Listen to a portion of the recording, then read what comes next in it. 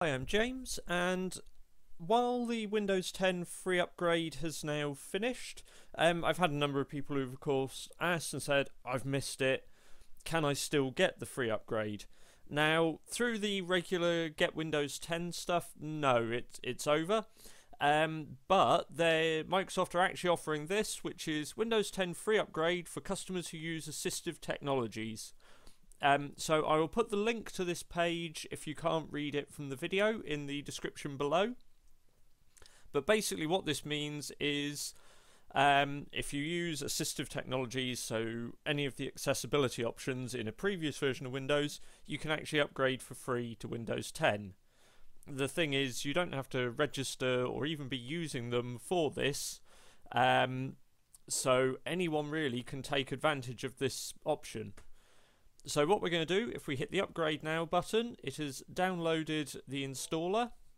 We get Windows 10 Upgrader. And we are going to begin that. So you can see this has now launched the Upgrade Assistant. Checking device compatibility. And what this will do is then set it downloading the ISO, um, or sorry, all the install files. Um, this is a Lenovo Yoga 2 laptop, so it should just be fine compatibility wise. Yep, all okay. And now it's going to do the download. So we are going to leave that running for the meantime and we'll pick back up once the download has completed. So with the download complete, we're now going through the getting your upgrade ready stage. So this is just checking over the download to make sure there's no corruption or errors in the files that it has retrieved. And with that complete, we now go on to the installing Windows 10 stage. So this will sit and tick through getting the upgrade going.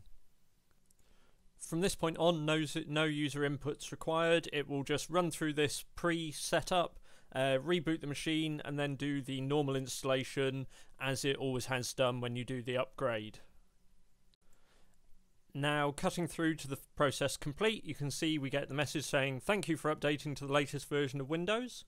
Um, I then just had to restart the machine just because it hadn't picked up the network driver for whatever reason. But if we go into update and security, you'll see even though this machine has never been upgraded to Windows 10 before, and by the date it is August 2nd, we are here, we have our digital entitlement, activated copy of Windows 10 Home, and ready to use.